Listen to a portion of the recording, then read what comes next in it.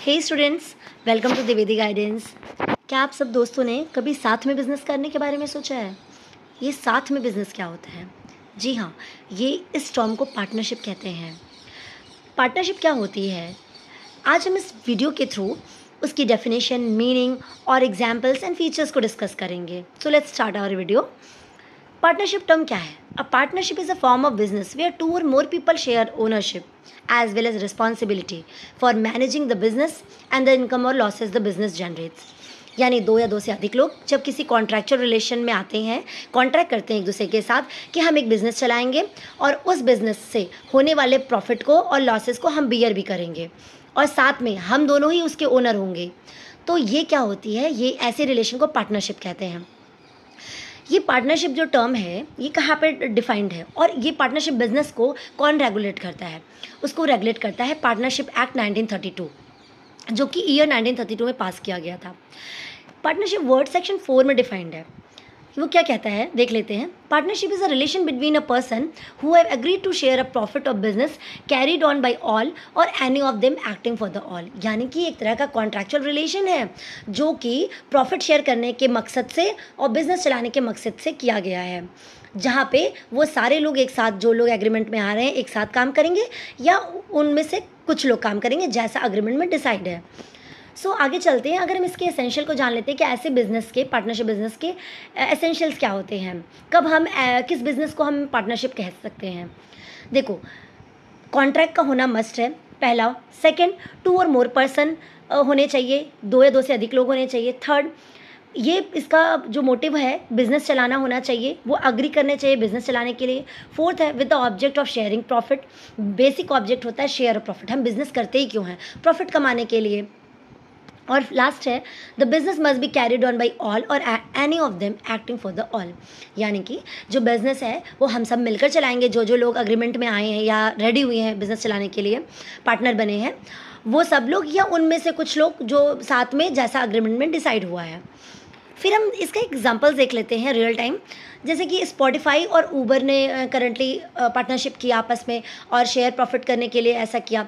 फिर और अपने बिज़नेस को आगे बढ़ाने के लिए किया एक्सटेंशन के लिए. सेकंड मारुति और सुजुकी ने किया. इन्होंने भी अपने बिज़नेस को कोलैट कर लिया पार्टनरशिप के ज़रिए. Third Red Bull and GoPro ने किया. सो so दैट ये रियल टाइम एग्जाम्पल्स हैं ऐसे बहुत मल्टीपल एग्जाम्पल्स हैं. अब हम देखते हैं कि पार्टनर क्या होता है. देखिए पार्टनर किसे कहते हैं? Who have entered into partnership with one another are called individually partners जब लोग इस एग्रीमेंट में जो लोग इन्वॉल्व होते हैं बिज़नेस चलाने के लिए, उन लोगों को इंडिविजुअली हम पार्टनर कहते हैं। इन पर्सन उन्हें पार्टनर कहा जाता है। और कलेक्टिवली उनको एक फर्म कहा जाता है। यानी आप और आपका दोस्त जब मिलकर किसी बिज़नेस को चला रहे हैं और उसका प्रॉफिट शेयर कर रहे हैं तो आप दोनों इंडिविजुअली पार्टनर हैं, पर आप दोनों को हम किस नाम से बुलाएँगे? फर्म के नाम से बुलाएँगे। उन्हें कहते हैं पार्टनर पार्टनरशिप फर्म अब देख लेते हैं कि किस बिज़नेस की बात कर रहा है।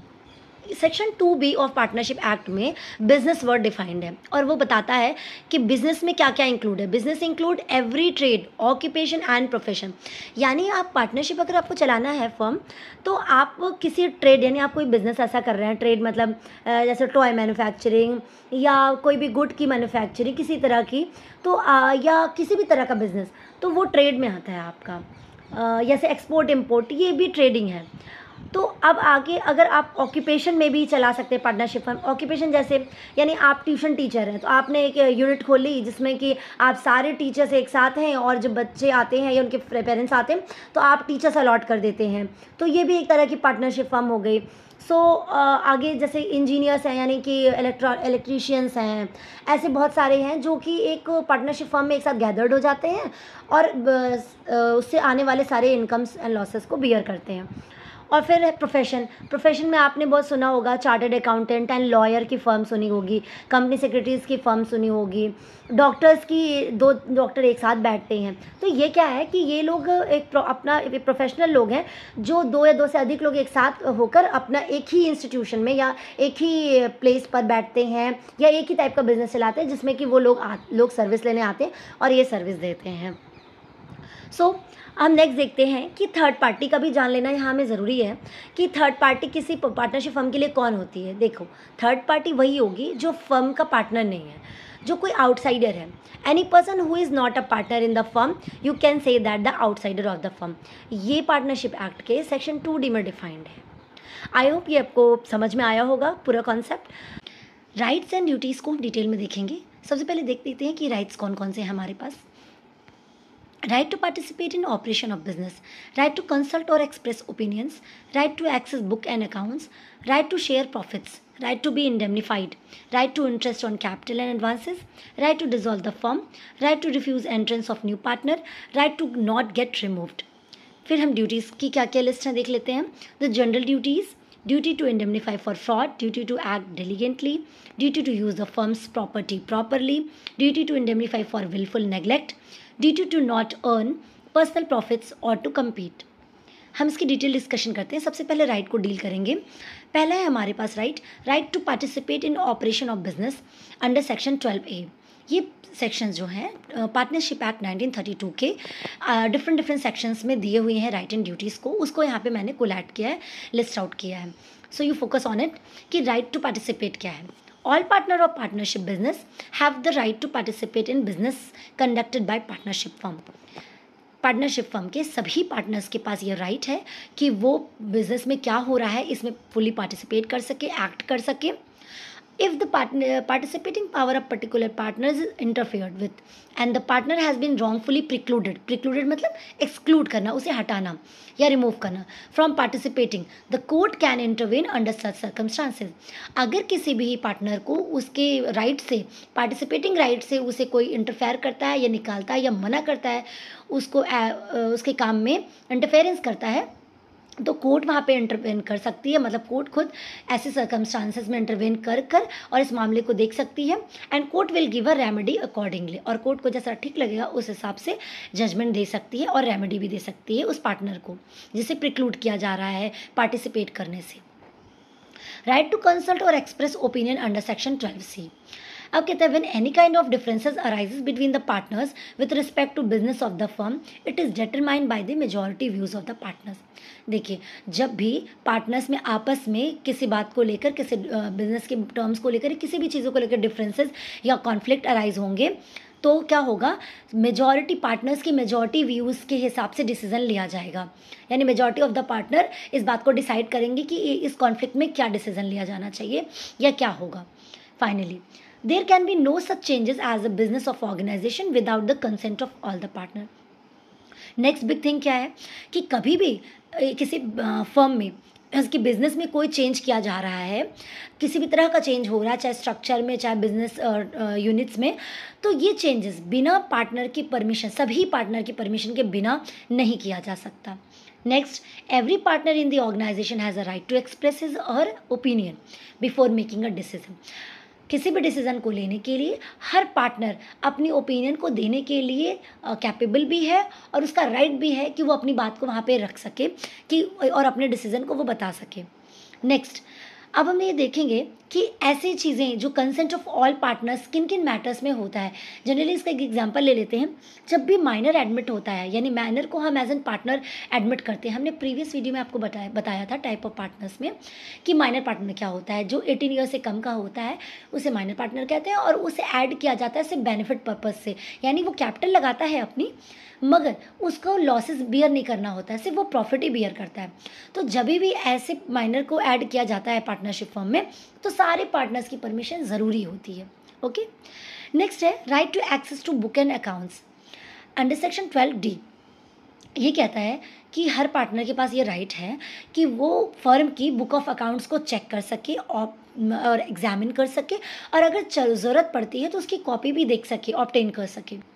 Okay is partner of the firm whether he is active or a sleeping partner has access to any book of the firm he also have a right to examine and obtain a copy there of if necessary bonafidely in a good faith always ठीक है? Next right to share a profit under section thirteen clause भी कह रहे हैं कि partner के पास right right होता है प्रॉफिट uh, शेयर करने का। Generally each and every partner will share equal profit and losses unless specifically agreed by any contract general rule यही है कि सभी पार्टनर्स इक्वली प्रॉफिट भी शेयर करेंगे इक्वली लॉस भी शेयर करेंगे। मगर अगर कोई स्पेसिफिक टर्म्स ऐसी है किसी पार्टनर की कि जो सिर्फ़ प्रॉफिट शेयर करने के लिए बना है, आपने वो पार्टनरशिप में टाइप ऑफ़ पार्टनर में पार्टनर फॉर प्रॉफिट ओनली देखा था, वो पार्टनर से प्रॉफिट बियर करने के लिए कैपेबल था और वो ये बोल भी रहा था कि मैं सिर्फ़ प्रॉफिट लूँगा और लॉसेज नहीं बियर कर सकता हूँ लॉस नहीं लूँगा। तो ऐसे पार्टनर्स जब आएँगे तो वो specific terms and condition otherwise सारे पार्टनर को प्रॉफिट और लॉस दोनों बियर करना है। नेक्स्ट है right to be indemnified under section thirteen clause E कह रहा राइट टू बी इंडेमनीफाइड क्या है? All the partner of the firm have a right to be repaid by the firm in respect of the payments made and the liabilities incurred by him in the ordinary and proper conduct of the business of the firm देखें सभी partner को अगर वो कोई भी work करते हैं firm के बेनिफिट के लिए। तो ऐसे में कोई भी अगर पार्टनर या कोई भी कॉस्ट बियर करनी पड़ रही है तो फर्म उसको कंपनसेट करेगी, जाने नहीं देगी okay for the example only in an emergency situation for protecting the firm from losses अगर कोई इमरजेंसी सिचुएशन आ गई और वो पार्टनर कोई एक पार्टनर फर्म को हेल्प करने के लिए रेडी है है ना? और वो जो पैसा लगाता है तो वो पैसा उसका वेस्ट नहीं जाएगा। उस, वो स्पेशल पेमेंट्स को फर्म हमेशा रीपे करेगी ओके इसी को क्या, कहते हैं कि फर्म के द्वारा इंडेमनीफाई किया जाना। और ये एक पार्टनर का राइट भी है कि राइट टू इंडेमनीफाई नेक्स्ट है interest on capital and advances ये आता है सेक्शन थर्टीन क्लॉज सी में। अब कहता है कि in a general rule the interest on capital contributed by partner is not permitted unless there is an agreement or usage to that effect generally आप जो कैपिटल इन्वेस्ट कर रहे हो फर्म में, उस पर इंटरेस्ट देने का कोई रिवाज नहीं है।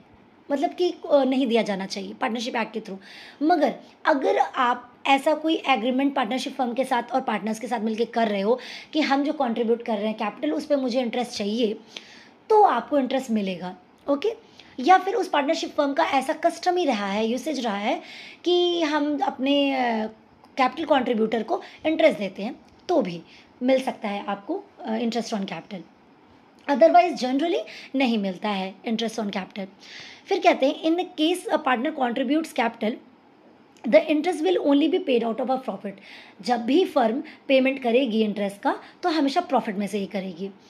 अब इंटरेस्ट ऑन एडवांसेस क्या है? Suppose a partner gives on advance to the firm in addition to the amount of capital he owes in which case the partner is entitled to receive interest at the rate of six percent per annum देखिए capital के अलावा अगर मान लीजिए firm को और पैसों की ज़रूरत है और आप पार्टनर हो और आप उसे लोन देने को रेडी हो जाते हो, किसे? फर्म को। एक पार्टनर फर्म को लोन देने के लिए रेडी हो जाता है। ऐसे लोन पर उसे इंटरेस्ट लेने का पूरा राइट है ओके तो इंटरेस्ट ऑन एडवांसेस इसी को कहते हैं। तो वो किस रेट से मिलेगा? सिक्स परसेंट पर एन के रेट से।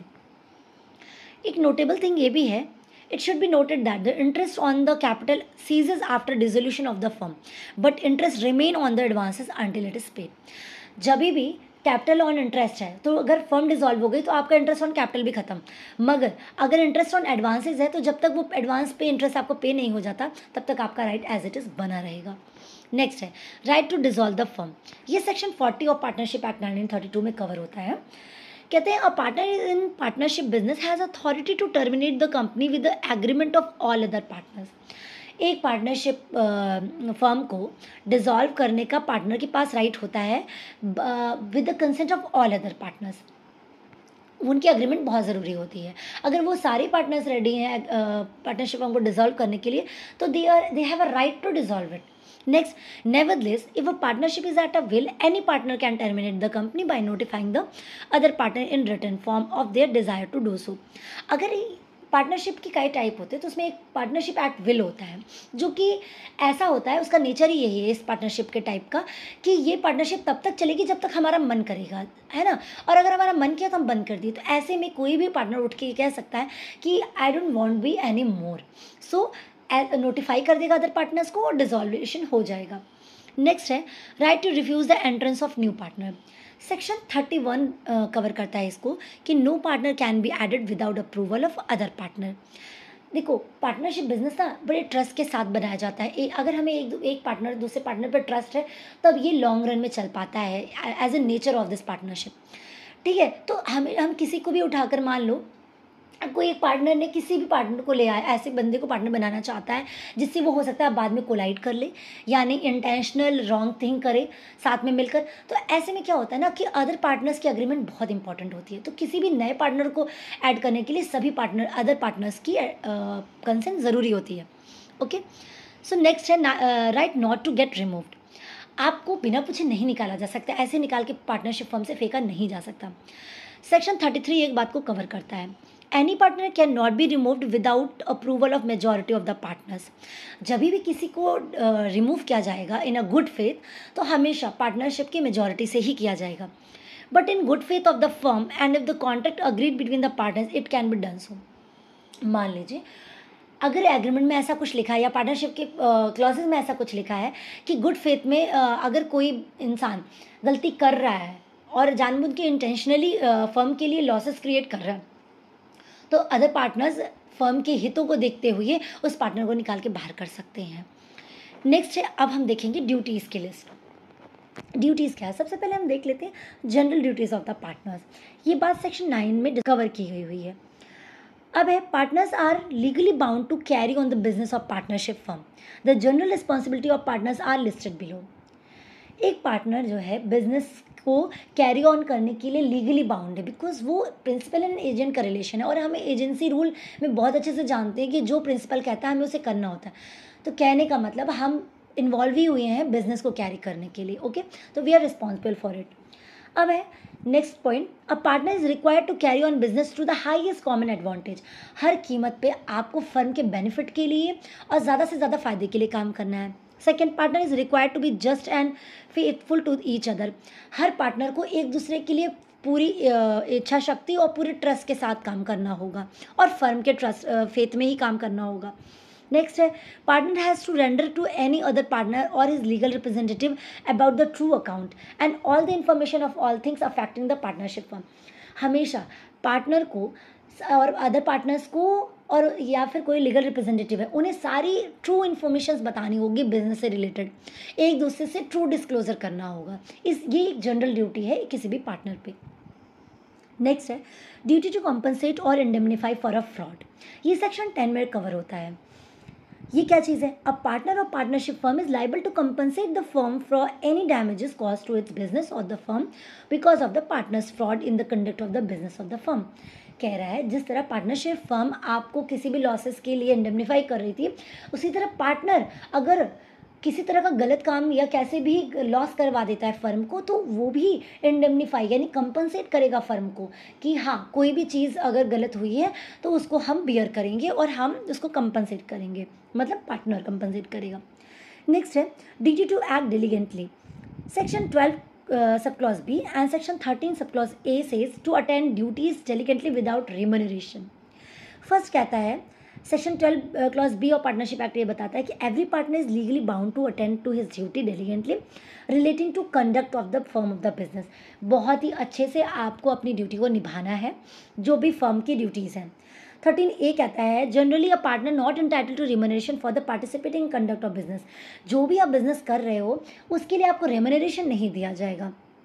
नेक्स्ट है duty to use the firm property properly आपकी जो पार्टनरशिप फर्म से रिलेशन है, उसके असेट्स हैं, उसको आप रॉन्गली नहीं यूज़ करेंगे। उस प्रॉपर्टी को एकदम गुड फेथ में यूज़ करेंगे in the best interest of firm partner can use the firm's property exclusively for its business सिर्फ़ बिज़नेस पर्पजेज है not for your own purpose because they all own its collectively because ये एक partner की नहीं है. ये all the partners की है. उनकी कलेक्टिव ओनिंग है. तो आप किसी भी पार्टनरशिप की प्रॉपर्टी को अपने हित के लिए नहीं यूज़ करेंगे. सिर्फ़ फर्म के हितों के लिए ही इस्तेमाल की जाएगी. Duty to indemnify for wilful neglect अगर आपने कोई विलफुल नेगलेक्ट किया है तो क्या होगा? ये बात सेक्शन थर्टीन क्लॉज एफ़ में कवर्ड है। A partner of partnership firm must compensate the firm for any damages और loss cause to it by wilful neglect in the conduct of the business of the firm अगर कोई partner किसी तरह का अपना duty की negligence में, जानबूझ के नेग्लेक्ट करता है अपनी ड्यूटी को और उसकी वजह से उस बिज़नेस में लॉस होता है फर्म के बिज़नेस में तो उसको भी कंपनसेट पार्टनर ही करेगा। नेक्स्ट है duty to not earn personal profits और to compete section sixteen clause B कहता है कि आपको पर्सनल प्रॉफिट्स नहीं बनाने हैं इस बिज़नेस से। Each partner must function according to the commonly shared goal भाई फर्म के जो गोल्स हैं, जो विजन्स हैं, उसी के पर्सपेक्टिव में पार्टनर्स को काम करना है। वो अपने फ़ायदे के लिए काम नहीं करेगा। They should not make any personal profit must not engage in any competing business ventures उसी की राइवलरी में दूसरा बिज़नेस नहीं खड़ा करेगा। जैसे कि उस फर्म का नाम है और उस फर्म का बिज़नेस है। उसकी प्रॉपर्टी को अपने काम में लाना और अपने बिज़नेस को चलाना, ये रॉन्ग थिंग है। अगर आज ऐसा कुछ भी किया जाता है तो उस बिज़नेस से, यानी जो आपने पर्सनल बिज़नेस खोल लिया है पार्टनरशिप फर्म के अलावा, उस बिज़नेस का होने वाला सारा प्रॉफिट उसी फर्म का हो जाएगा। They should hand over the personal profit made to their firm अगर कोई पर्सनल प्रॉफिट आप बनाओगे तो you have to hand over to the firm इससे पहले की वीडियो में हमने definition nature and features of the partnership firm पढ़ लिया था आज हम देखेंगे कि कितने टाइप के पार्टनर्स होते हैं और उनका बिज़नेस में क्या रोल होता है। आइए देखते हैं। ये टोटल टेन टाइप के पार्टनर्स को हमने यहाँ पर डील किया हुआ है। फ़र्स्ट है एक्टिव या मैनेजिंग पार्टनर सेकेंड डॉर्मेंट और sleeping partner third nominal partner fourth partner by estoppel और इसे पार्टनर बाय होल्डिंग आउट भी कहते हैं।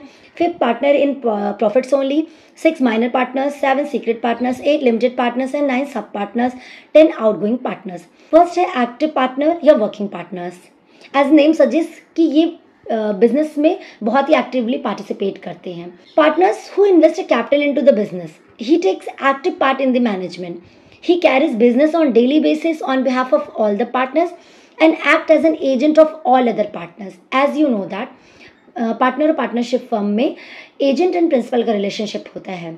और ये पार्टनर फर्म के लिए भी लाइबल होता है फर्म पार्टनर के लिए लाइबल होती है और पार्टनर्स एक दूसरे के लिए भी लाइबल होते हैं।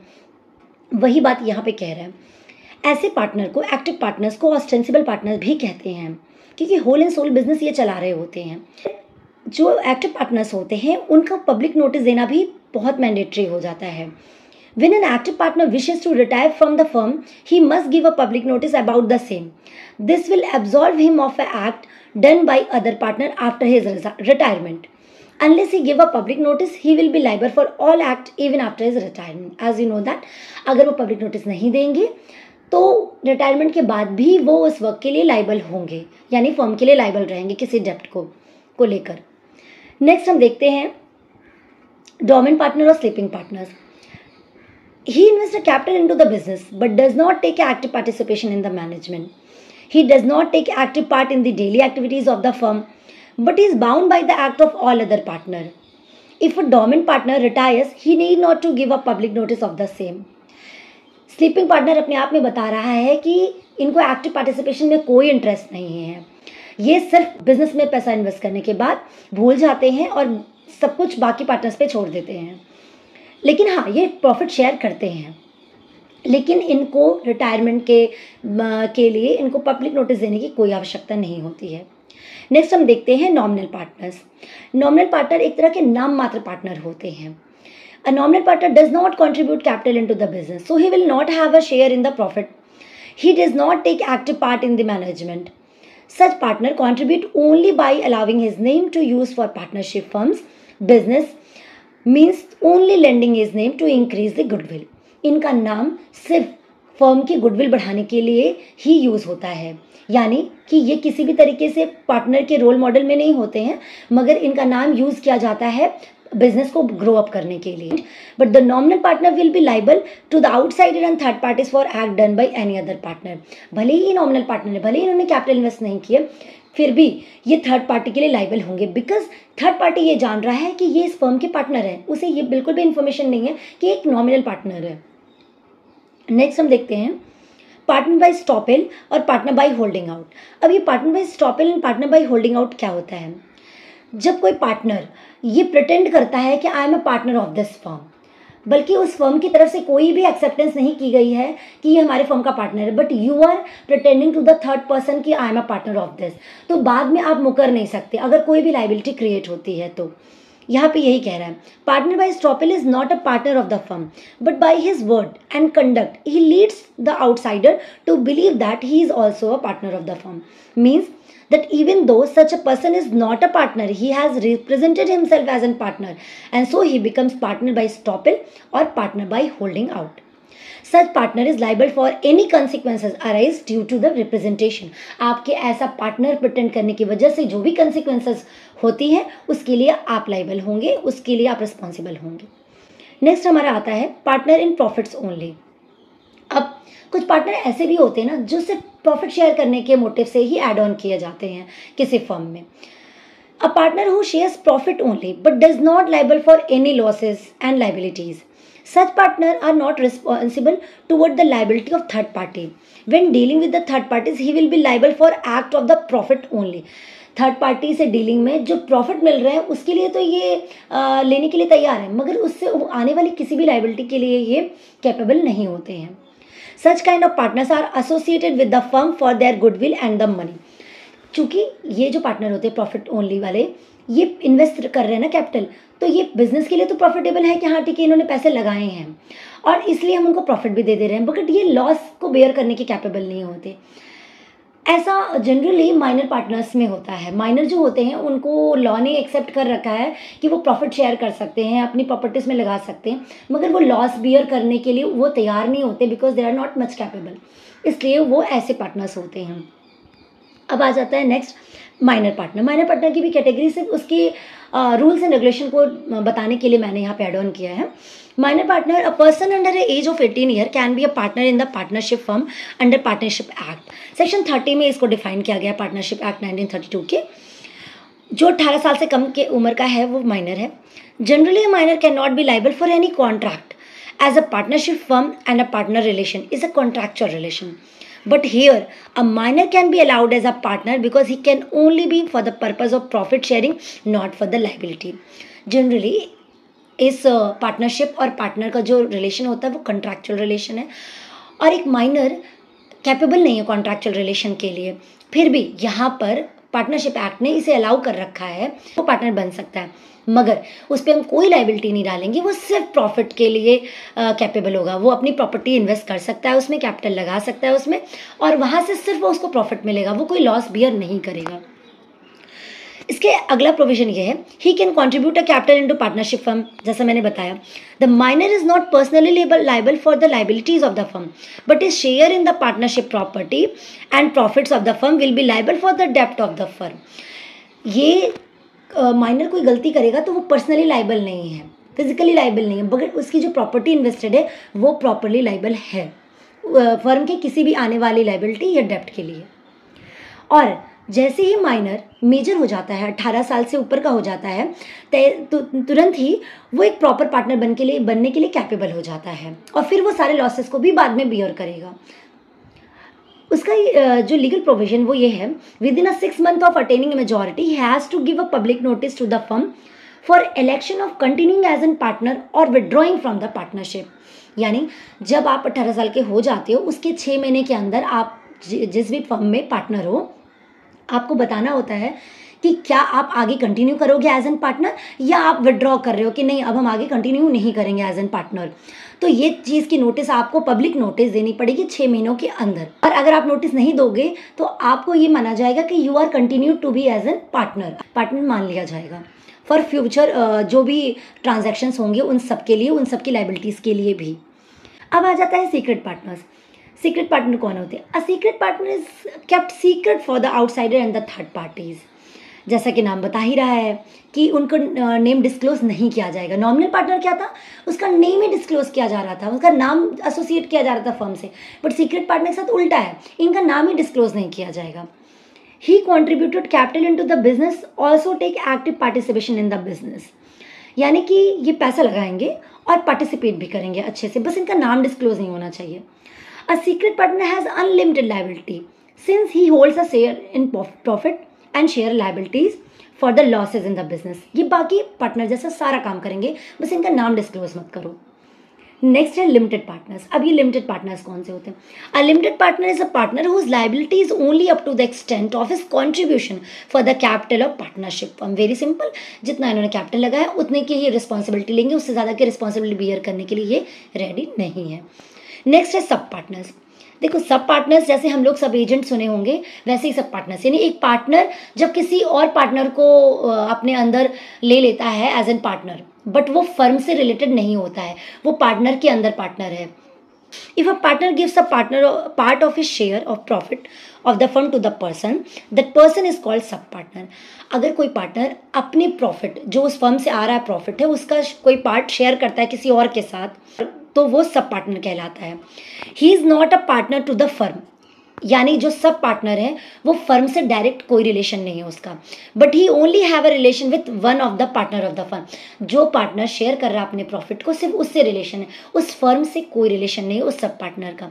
He does not hold any liability toward the firm क्योंकि उसका फर्म से रिलेशन नहीं है तो वो कोई लाइबिलिटी भी होल्ड नहीं करता उस फर्म के towards the relationship is not between the sub partner and the partnership firm but is between him and the partner जैसा बताया पार्टनरशिप फर्म और सब पार्टनर का रिलेशन नहीं होता, बल्कि उस सब पार्टनर और उस पार्टनर का रिलेशन होता है आपस में। तो वो लाइबल भी पार्टनर के लिए है फर्म के लिए नहीं। लास्ट है outgoing partners outgoing partners simply is a partner who voluntarily retires without dissolving the firm जो निकल रहा है फर्म अभी डिजॉल्व नहीं हुई है, वो जाना चाहता है बाहर कि अब we don't want to continue more फिर he withdrawing from the existing firm therefore he is called as an outgoing और रिटायरिंग पार्टनर भी इन्हें कहते हैं। Such partner is liable for all his dept and obligation incurred before his retirement however, he can be held liable for his future obligation if he fails to give a public notice of his retirement from the partnership firm ऐसे partners सभी डेप्ट और obligation के लिए liable होंगे before retirement वाले, लेकिन retirement के बाद के लिए वो लाइबल नहीं होंगे। अगर वो पब्लिक नोटिस नहीं देते हैं तो वो लाइबल होंगे। आई होप आपको समझ आया होगा। Topic is dissolution of partnership and partnership form dissolution term का मतलब क्या होता है? इट मीन्स टर्मिनेशन एंड और फाइनल प्रोसेस जहाँ पे चीज़ें ख़त्म हो रही हों। पार्टनरशिप का डिज़ोल्व होना और पार्टनरशिप फर्म का डिज़ोल्व होना, ये दो अलग बातें हैं। आज हम दोनों ही टॉपिक को समझेंगे। पहले हम देख लेते हैं कि डिजोल्यूशन ऑफ़ पार्टनरशिप क्या होता है। It means termination of every contractual relationship between the partners or end partnership relation between the partners. जब पार्टनर्स के आपस के कॉन्ट्रैक्चुअल रिलेशन एंड होते हैं, तब उनके रिलेशनशिप के एंड होने को सिर्फ़ पार्टनर्स आपस में रिश्ता ख़त्म कर रहे हैं। तो उसे कहते हैं dissolution of partnership for example A B C हैं। ए कहता है कि I am no more interested in your business अब हम यहाँ से अपने रिलेशन को तोड़कर अब हम पार्टनर नहीं रहना चाहते। और बाहर जाना चाहते हैं फर्म से। तो ए ने बी और सी से अपने पार्टनरशिप रिलेशन को तोड़ लिया और अब वो फर्म में पार्टनर नहीं है। बी और सी अब आ, सिर्फ़ पार्टनर रह गए हैं और ए निकल गया। तो ए ने क्या किया? ए ने पार्टनरशिप डिजॉल्व की ओके मतलब पार्टनरशिप रिलेशन को डिजॉल्व किया। ओके लेकिन नेक्स्ट हम ये देखते हैं कि रिजोल्यूशन ऑफ़ पार्टनरशिप फर्म तब किसे कहते हैं? If relationship between all the partners of the firm is dissolve then it is known as the dissolution of firm यानी जब सारे ही पार्टनर आपस में रिश्ता तोड़ लेते हैं पार्टनरशिप का जो रिलेशन है वो तोड़ लेते हैं और आगे बिज़नेस को नहीं चलाना चाहते हैं तो फर्म डिसॉल्व हो जाती है। यानी इसी एग्जांपल में हम देखते हैं, इसमें पहले ए निकल रहा था सिर्फ़। अगर मान लो ए बी सी तीनों ही अब पार्टनर नहीं रहना चाहते इस फर्म में और रिलेशन को यहीं पे ख़त्म करना चाहते तो इन तीनों के रिलेशन के ख़त्म होते ही पार्टनरशिप फर्म भी अब ख़त्म हो जाएगी। क्योंकि अब पार्टनर कौन बचेगा इसके अंदर? तो उसे कहेंगे डिजोल्यूशन ऑफ़ पार्टनरशिप फर्म यानी कोई एक पार्टनर या कोई कुछ पार्टनर आपस में रिलेशन तोड़ रहे हैं, तब तो वो डिजोल्यूशन ऑफ़ पार्टनरशिप मगर सारे पार्टनर उस फर्म के, जितने भी पार्टनर्स हैं, जब वो सारे ही आपस में रिलेशन को तोड़ लेते हैं तो फर्म के आगे चलने का कोई मतलब ही नहीं खड़ा होता। तो उसे कहते हैं डिजोल्यूशन ऑफ़ पार्टनरशिप फर्म ये बात section thirty nine of partnership act में मैंशन है। In case of dissolution of partnership of the firm the firm ceases to exist बिल्कुल? फर्म बंद हो जाएगी, अगर पार्टनरशिप फर्म डिजोल्व हो जाएगी तो। Dissolution of partnership firm include dissolution of partnership but dissolution of partnership may or may not involve the dissolution of partnership firm जब partnership relation खत्म होता है तो ज़रूरी नहीं है कि फर्म डिजोल्व हो जाए। क्यों? क्योंकि बाकी पार्टनर तो बचे हुए हैं ना। मगर जब एक फर्म डिजोल्व हो रही है ना, मान लो तो पक्का सारे सा, बा, बाकी पार्टनर्स का रिलेशन खत्म हो जाएगा। पार्टनरशिप का मान लो कंपल्सरी डिजोल्यूशन हो गया जो आगे हम समझेंगे। या कोर्ट ने डिजोल्व कर दिया इलीगल हम हमने एक्टिविटीज़ की है बिज़नेस में। तो ऐसे में क्या होगा? हमने आपस में रिलेशन तो नहीं तोड़ा था लेकिन फर्म डिजोल्व हो रही थी। तो फर्म डिजोल्व हो रही है तो सारे पार्टनर्स भी टूट गए यानी सारे पार्टनर्स के बीच का रिलेशन भी टूट गया। तो यानी कि dissolution of firm includes dissolution of partnership next है कि हम देखते हैं mode of dissolution of the firm अगर फर्म जब बंद हो रही है या डिजोल्व हो रही है, खत्म हो रही है, इसके क्या क्या मोड होंगे? किस तरह से फर्म डिजोल्व होती है? पहला by agreement by consent section 40 of the said act said act means partnership act nineteen thirty two a firm may be dissolve with the consent of all the partners or in according with the contract between the partners सारे partners की मर्ज़ी से आराम से firm firm को dissolve किया जा सकता है। और या फिर एग्रीमेंट में जैसा मेंशन हो एग्रीमेंट में ऐसी कोई बात मेंशन थी कि हम इस टाइम पे इस तरीके से डिजोल्व कर लेंगे तो उस तरह से डिजोल्व कर लो। ये बाई एग्रीमेंट डिजोल्यूशन है। नेक्स्ट है हमारा कंपल्सरी डिजोल्यूशन सेक्शन 41 में ये मेंशन है कंपल्सरी रेजोल्यूशन ये किन किन वजह से कंपल्सरी यानी आपको कुछ ऐसी चीज़ें हैं जिनके होने पे आपके फर्म को बंद कर ही दिया जाएगा। जैसे पहला है by the adjudication of the all the partners or of all the partners but one as an insolvent जब मान लो कोर्ट में ये डिक्लेयर हो गया कि पार्टनर्स जो हैं, वो इंसॉल्वेंट हो गए हैं, दिवालिया हो गए हैं।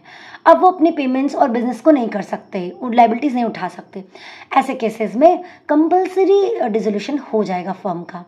या फिर दो पार्टनर्स है तो उनमें से जो पार्टनर अप्लाई किया है, उसके अदर पार्टनर इंसॉल्वेंट हो गया तो सेकंड पार्टनर इंसॉल्वेंट हो गया तो फ़र्स्ट पार्टनर अकेला तो चला नहीं सकेगा।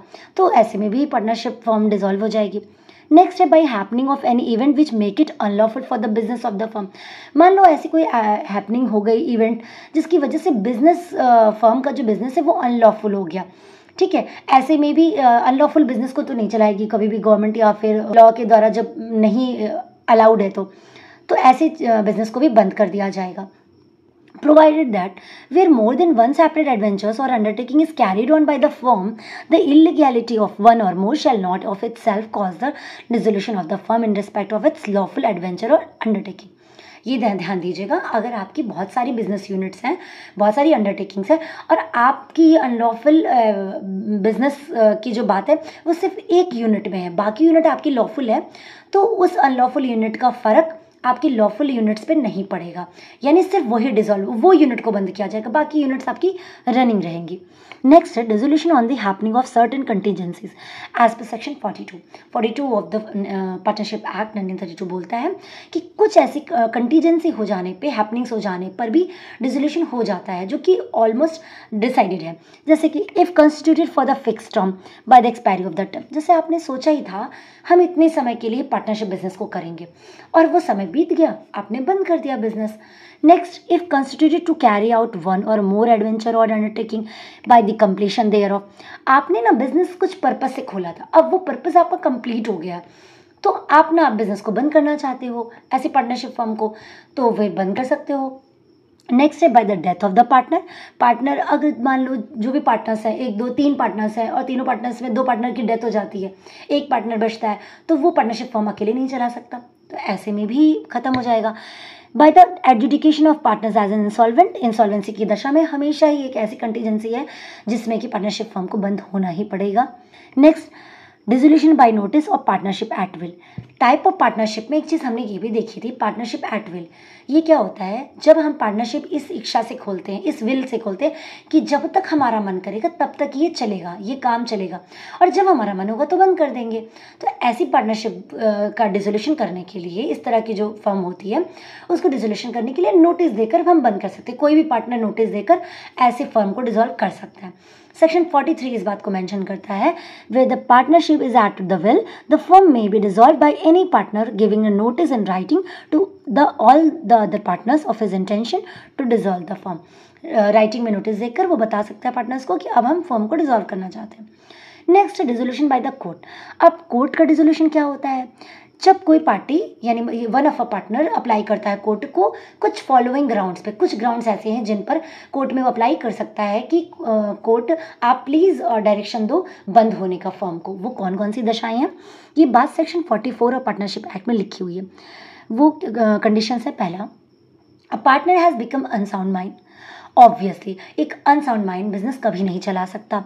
तो जब अनसाउंड माइंडनेस होगी तो पार्टनरशिप बिज़नेस को बंद करना पड़ेगा। Other than the partner suing, has become in any way permanently incapable of performing its duties as a partner. जो पार्टनर स्यू कर रहा है, उसके अलावा बाकी जो पार्टनर्स हैं, वो अपनी ड्यूटीज़ परफॉर्म करने में बिल्कुल इनकेपेबल है। परमानेंटली इनकेपेबल हो गए हैं। तो भी कोर्ट के द्वारा फर्म को बंद कर दिया जाएगा। Conduct in injurious to partnership business मान लो जो फर्म के पार्टनर्स हैं, कुछ पार्टनर्स ऐसे, ऐसा काम कर रहे हैं जो पार्टनरशिप बिज़नेस के लिए हार्मफुल है। यानी उसके फेवर में नहीं, उसके अगेंस्ट काम कर रहे हैं कोलाइड करके। और मतलब षडयंत्र करके या कह सकते हो, अपने पार्टनरशिप बिज़नेस के साथ ब्रीच ऑफ़ ट्रस्ट कर रहे हैं। या उसको हार्म पहुँचा रहे हैं, या उसकी कॉन्ट्रैक्ट्स को तोड़ने की कोशिश कर रहे हैं, अपने, उसके क्लाइंट्स को तोड़ने की कोशिश कर रहे हैं, जो कि पार्टनरशिप बिज़नेस के लिए ठीक नहीं है तो भी जो एक पार्टनर है बेनिफिट पार्टनर वो जाकर अप्लाई कर कर इसको बंद करवा सकता है। नेक्स्ट है persistently commit a breach of agreement partnership हमेशा एक एग्रीमेंट के बेसिस पे चलती है, क्योंकि वो कॉन्ट्रैक्चुअल चीज़ है। तो एग्रीमेंट में जो चीज़ें लिखी हुई हैं, उसको फॉलो करना अवॉइड करना हमारा काम है, यानी जो पार्टनर्स हैं, उनका काम है। तो अगर बार बार आप ब्रीच कर रहे हैं उसकी कंडीशन एंड टर्म्स को तो मतलब आप कोई इच्छा नहीं रख रहे हैं पार्टनरशिप बिज़नेस को चलाने के लिए। ऐसे में जो पार्टनर है, एक पार्टनर वो जाके अप्लाई करके कोर्ट में इसको बंद करवा सकता है फर्म को। नेक्स्ट है transfer the whole of is interest in the firm to the third party अब, अगर आपने, आप एक पार्टनर हो और आपने अपना पूरा इंटरेस्ट जो भी आपका शेयर था, वो किसी थर्ड पार्टी को, बिना पूछे किसी थर्ड पार्टी को दे दे रहे हो। और उसके थर्ड पार्टी को देते ही वो पार्टनर नहीं बन जाएगा उस फॉर्म का। और आप भी पार्टनर नहीं रहोगे बिकॉज़ आपने इंटरेस्ट दे दिया। तो जो थर्ड पार्टी है, वो कभी भी पार्टनरशिप बिज़नेस में अपना रोल नहीं दिखा सकती, ना कंडक्ट ऑफ़ बिज़नेस में किसी तरह की चीज़ें इन्वॉल्व कर सकती है। बिकॉज़ हम जब पार्टनरशिप करते हैं, हम एक इंडिविजुअल से करते हैं, एक इंसान से करते हैं, उसके टैलेंट और चीज़ों को देख कर करते हैं। उसकी कैपिटल्स को देख के करते हैं। तो ऐसे में अगर आप बिना पूछे किसी तीसरे को दे देते हो तो हम एक्सेप्ट नहीं कर सकते। यानी ऑल अदर पार्टनर्स जो हैं, वो एक्सेप्ट नहीं करते ऐसी चीज़ों को। ऐसी दशा में भी फर्म बंद की जा सकती है। नेक्स्ट है when the business can be carried on only at the loss जब बिज़नेस सिर्फ़ लॉस में चल रहा हो तो ऐसे में आगे बिज़नेस को क्यों ही किया जाए? तो कोर्ट में अप्लाई करके बिज़नेस को बंद करा दिया जाता है। और एनी अदर ग्राउंड ऐसा कोई भी ग्राउंड जो कोर्ट फिट समझे इक्विटेबल समझे, या जस्टिसेबल समझे कि भाई, इस दशा में इस फर्म को बंद हो जाना चाहिए। अब हम देखते हैं, ये तो हमने देखा था डिजोल्यूशन ऑफ़ फर्म फर्म कैसे खत्म हो रही है? लेकिन अब हम ये देखेंगे कि पार्टनरशिप कैसे खत्म होती है। जो हमने बताया था ना, कि पार्टनर के रिलेशन जब खत्म होता है तो डिजोल्यूशन ऑफ़ पार्टनरशिप होता है।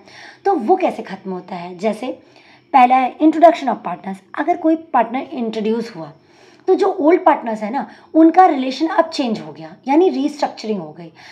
अब नए पार्टनर के आने से उसके न्यू कैपिटल के आने से राइट एंड ड्यूटीज़ भी डिवाइड होंगे डिफरेंट तरीके से रिस्पॉन्सिबिलिटी डिवाइड होंगी और शेयर ऑफ़ प्रॉफिट भी डिवाइड होगा।